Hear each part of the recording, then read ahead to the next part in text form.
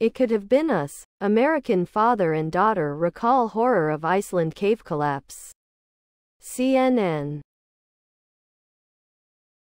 American tourist Scott Stevens and his daughter Wild, 10, believe they were moments away from being bleep in Iceland's cave collapse on Sunday.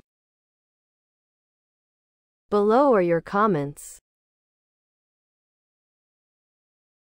I thought the ice cave tours were seasonal and didn't happen during the summer months for just this reason. It wasn't their time.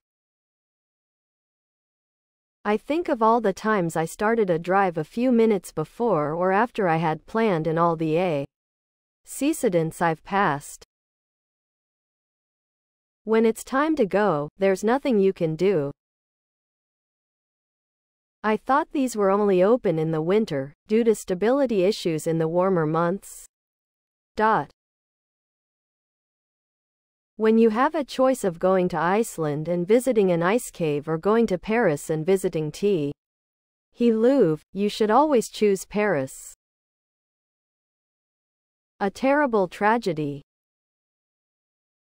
Please subscribe to my channel. And if you like it, please thumbs up.